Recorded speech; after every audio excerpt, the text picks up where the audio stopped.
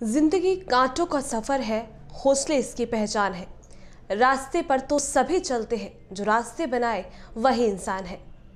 अगर कुछ कर गुजरने की ललक और खुद पर पूरा विश्वास हो तो अकल्पनीय बातें भी ज़िंदगी की हकीकत बन जाती हैं। ऐसी ही कहानी है एनआरआई ज्योति रेड्डी की। नमस्कार, मैं हूँ आपके साथ कनिका और स्वागत है आप सभी का हमारे खास प्रोग्राम सफरनामा में।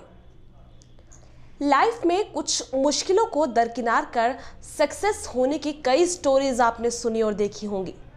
आज हम आपको ऐसी एक लेडी की स्टोरी बताने जा रहे हैं, जिसका स्ट्रगल दुनिया की तमाम लेडीज़ के लिए एक मिसाल बन चुका है। हम बात कर रहे हैं तेलंगाना के वारंगल की ज्योति रेड्डी की, जिन्होंने मात्र पाँच रुपये रोज की मेहनताना पर खेत में मजदूरी की। लेकिन अपनी मेहनत के बाद आज इन्होंने करोड़ों रुपए की कंपनी खड़ी कर दी है।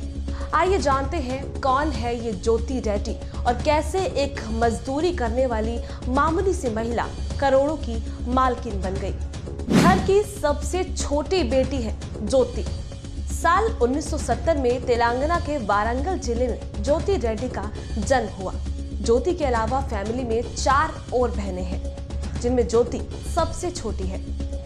फैमिली की आर्थिक स्थिति ठीक न होने के चलते उनकी पढ़ाई लिखाई नहीं हो सकी थी। इसलिए उनकी फैमिली ने उन्हें अनाथालय में छोड़ दिया। यहाँ रहकर ज्योति पढ़ाई करने लगी और फिर दसवीं का एग्ज़ाम उन्होंने फ़र्स्ट डिवीज़न से पास किया। लेकिन गरीबी के चलते वो आगे नहीं बढ़ पाई, आगे पढ़ नहीं सकी। 16 साल की उम्र में हो गई शादी। ज्योति की मुश्किलें यही खत्म नहीं हुई, सिर्फ़ 16 साल की उम्र में उनकी शादी करा दी गई। उस समय उनके हस्बैंड की उम्र 26 साल की थी। शादी के दो साल बाद ही ज्योति के दो बच्चे हुए। उधर घर की आर्थिक स्थिति ठीक न होने के चलते बच्चों की परवरिश में मुश्किलें आने लगी। ऐसे में ज्योति ने हालात बदलने की ठानी और घर के पास ही एक खेत में काम करने लगी।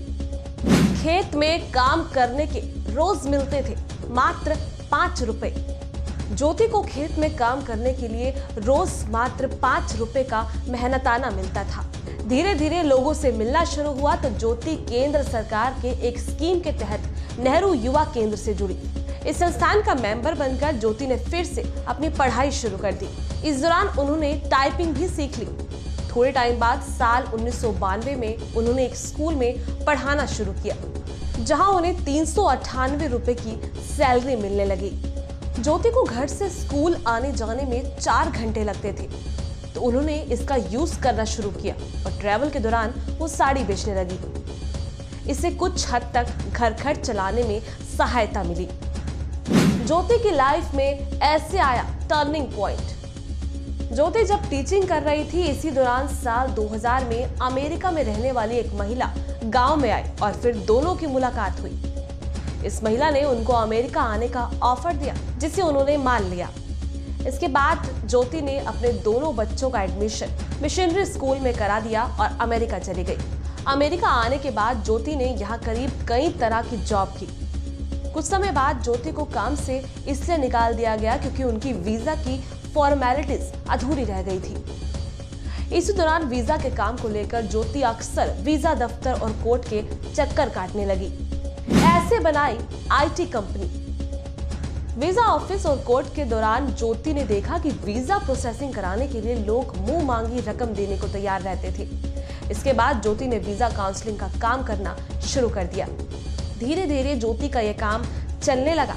जिसके बाद उन्होंने वीज़ा मामले में काउंसलिंग देने के लिए एक सॉफ्टवेयर बनाया और इसे कंपनी में बदल दिया।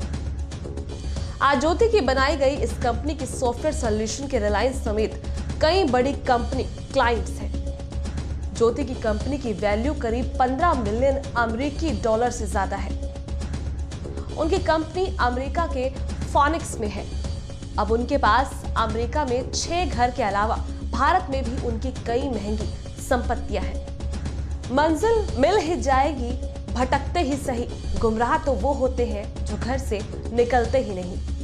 वाकई ज्योति ने साबित कर दिया कि नामुमकिन कुछ भी नहीं है।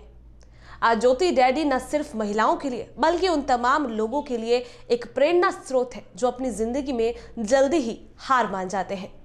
तो आज के लिए सफरनामा में इतना ही। फिर हाजिर होंगे एक नई कहानी के साथ। तब तक के लिए नमस्कार।